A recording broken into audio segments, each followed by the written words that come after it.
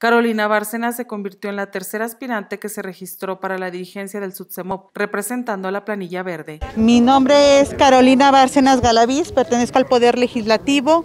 Este, ya entregué toda mi documentación de acuerdo a la convocatoria y parece ser que estamos completos. Eh, me van a, en 24 horas me van a decir qué es lo que me falta, qué hay que subsanar y después de esas 24 horas este, nos darían el dictamen. Eh, pues vamos apegados con lo de la convocatoria, la convocatoria es muy clara y precisa qué requisitos teníamos que cumplir. Mi planilla la entrega el 40% de seccionales, Poder Legislativo, GEAPAS, COEPLA, por decirlo así, 60% de municipios, lo que es Pinos, Río Grande, Jerez, Guadalupe, eh, Chalchihuites, por decirlo así, y aquí están presentes todos en activo.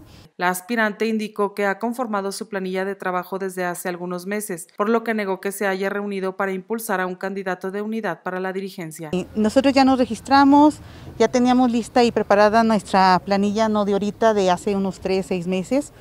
Este, tenemos planeado eh, registrarnos en días pasados, desgraciadamente pasó lo de nuestro señor secretario general.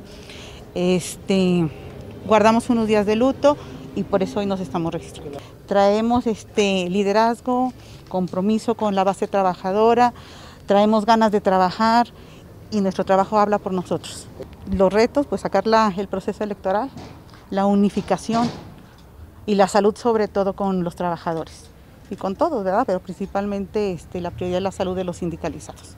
Destacó que confía plenamente en la transparencia del proceso y que acatarán en todo momento las medidas sanitarias para evitar contagios por coronavirus. Confiamos en él, esperemos que se hagan bien las cosas y a darle.